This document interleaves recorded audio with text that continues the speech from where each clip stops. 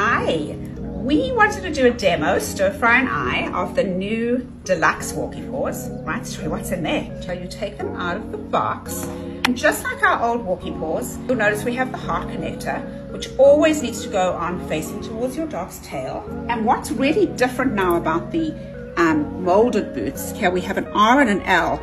It should land up on the right way on your dog's back when you just put them on, but just double check that the R is on the right leg and this one is, and then you're just slip in your dog's paw in and you'll see it's super easy to get your dog's paw in because the paw just finds the shape because the boots are designed ergonomically to mirror a dog's paw shape. Both back legs have a B on them.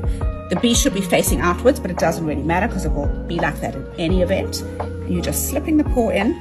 Also making sure then that the fabric covers your dog's joint. So we have a new heart connector. You want it towards the middle of your dog's back.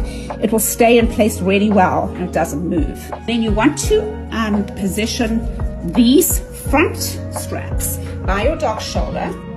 And what's new now is we have a new collar connector.